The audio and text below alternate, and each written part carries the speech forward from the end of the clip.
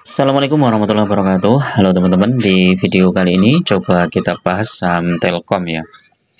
Saham Telkom di perdagangan kemarin menguat ya teman-teman 50 poin atau 1,56 persen walaupun sempat turun di 3110 ya.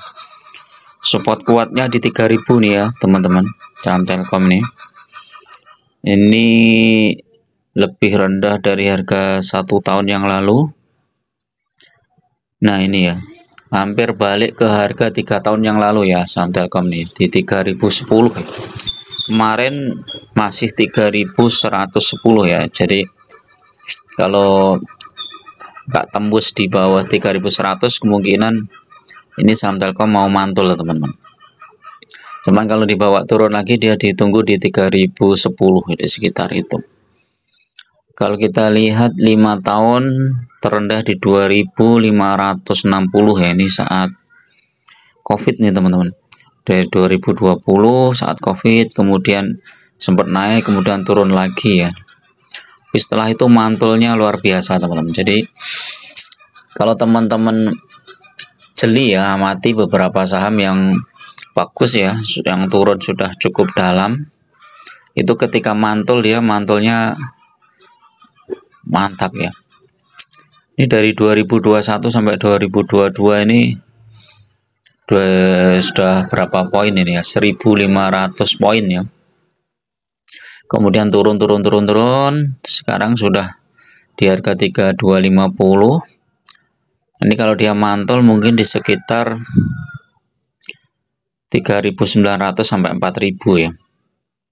Nah kalau kita lihat harga satu minggu ini turun dari 3400 nah ini 3970 ya tertinggi.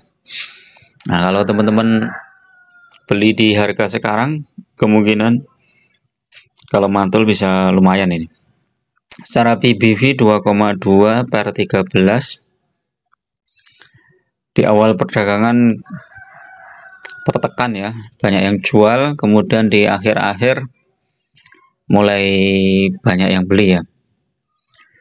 Secara turnover nih besar banget teman-teman. 1,08 triliun. Uh besar banget nih. Jadi sangat liquid nih Telkom nih. Kalau teman-teman punya 1000 lot aja nggak masalah nih. Satu tik satu titik aja nih 3220 ya nih. Harga 3220 udah 32.000 lot.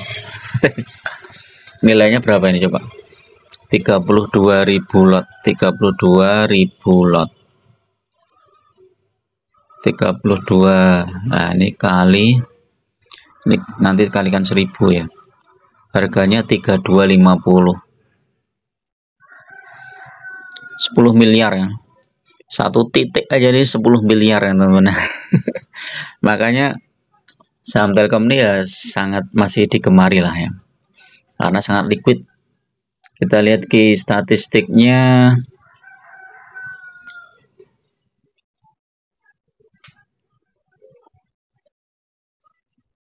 Ini perkiraan labanya ya. 6,05 triliun. Cash flow-nya 15 triliun dividen yield-nya 5,16 dividen yield sekitar Juni ya bulan Juni. Kita lihat nih rupsnya kapan ya rupsnya 3 Mei ya. Ini nanti menjelang rup biasanya dia mulai naik ya.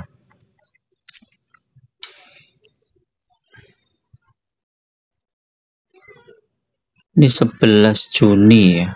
Tahun kemarin 11 Juni. Pak kita cek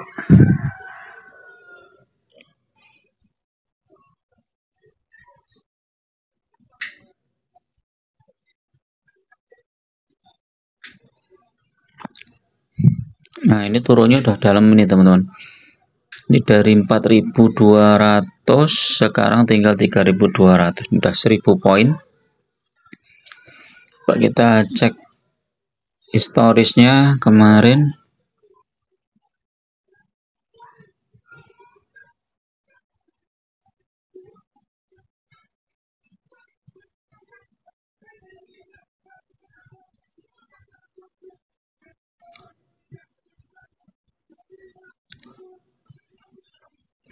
akhir April tuh naik ya naik tinggi ini coba.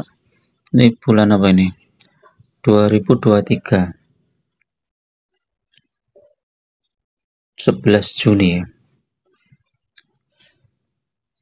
Nah, April naik.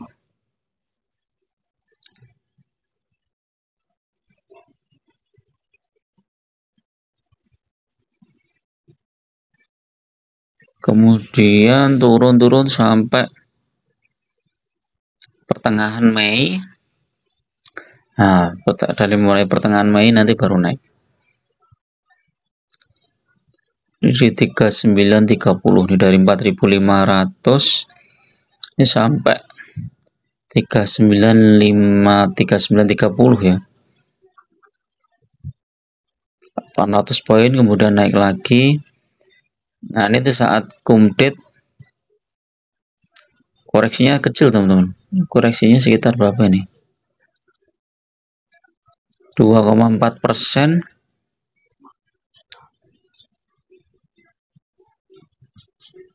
Sini turun lagi nih di bulan apa ya Oktober turun lagi.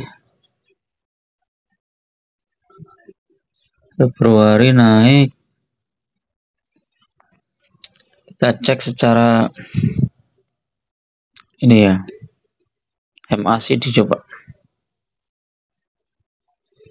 MACD mulai ada perlawanan. Osilator oh bagus nih osilatornya stokastik.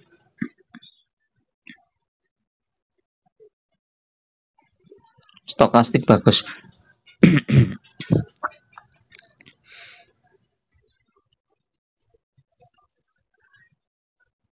tapi dia masih di bawah MA5 ya masih bisa terkoreksi lagi. Kemungkinan kalau dia tembus 3300 bagus nih teman-teman. Bisa masuk.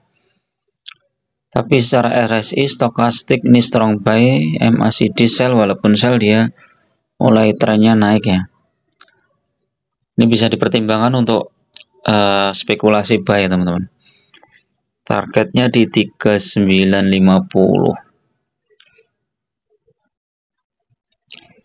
target terdekat di 3400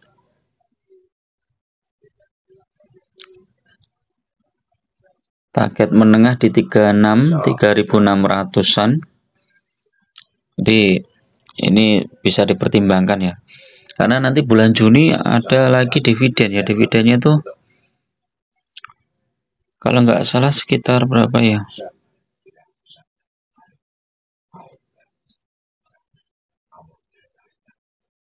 Kalau anggap aja dividennya 167 nih ya sekitar 5% begini.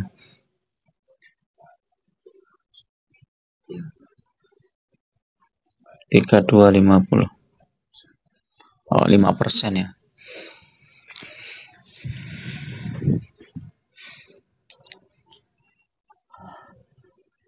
ya. Sentimennya apa nih coba ke beritanya?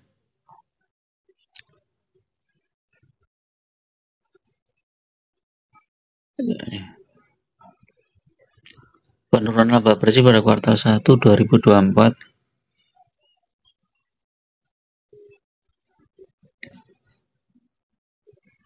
6 triliun. Tumbuh pendapatan tumbuh.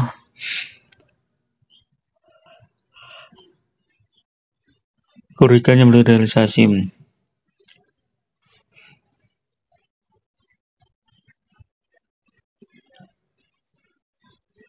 Capaian kinerja tidak sesuai dengan ekspektasi sepanjang tahun berjalan ini saham Telkom sudah terkoreksi 17,72 persen.